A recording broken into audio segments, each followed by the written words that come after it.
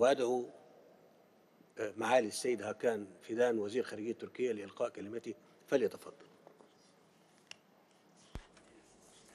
His Excellency, Mr. President, distinguished heads of state and government, dear colleagues, excellencies, this is a crucial juncture where bloodshed prevails over restraint and common sense. Last couple of weeks have already left an indelible mark in our minds. Many of us still find it difficult to believe what has been unfolding. Thousands of innocent civilians are losing their lives in front of our eyes. The situation in Palestine has always been a tragedy. Now it is turning into carnage. There can be no excuse or reason for inflicting such a collective and cruel suffering on human lives, like the one happening in Gaza. We must be unequivocal in condemning and resisting loss of any single innocent life. International community has to calibrate its actions and messages at this highly critical point. Israel should be urged that the temporary so-called victories did not bring long-term security in the course of history. It will not bring this time too. Israel exploits the solidarity of some countries as an open check for unleashing a blind rage on Palestinians, such a rage which even targets mosques and hospitals. On the other hand, I would like to remind that unconditional military aid to Israel or coercing regional countries to unrealistic and unsustainable plans serve nothing but deepening occupation. Because these policies omit, neglect, and ignore a vital part of the equation the Palestinians. Insistence on such errors are, in fact, another sign that the current international order cannot produce solution to core problems. What this order produces is only erosion of universal values and distortion of facts on the ground.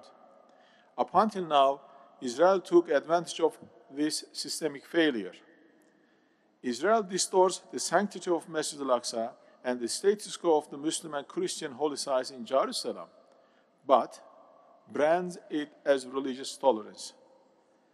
Israel grabs the lands, homes, and livelihoods of Palestinians in East Jerusalem and West Bank, but brands it as civilian settlements.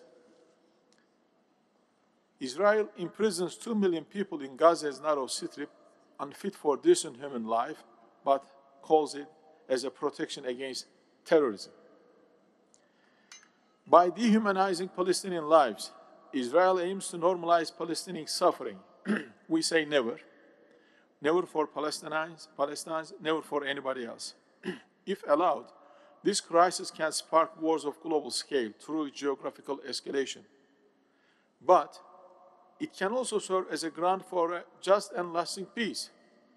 Therefore, at this historic juncture, we have to set the track right.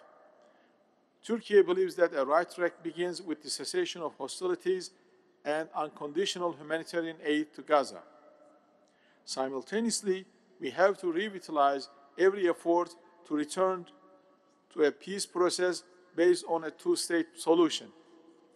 An independent, sovereign, and contiguous state of Palestine along 1967 borders with East Jerusalem as its capital is not only a must for peace, it is also the strategic imperative for international security and stability. I am sure we all agree on this. However, it is not enough. We have to go beyond agreeing and start implementing this vision. Furthermore, there should be a guarantee mechanism for monitoring, verifying, when needed, enforcing obligations of the parties in a just peace. Turkey remains ready to further develop this concept and share the responsibility for creating a dignified, just, and secure future for all. Our heartfelt gratitude goes to Egypt for this much timely gathering. Thank you very much.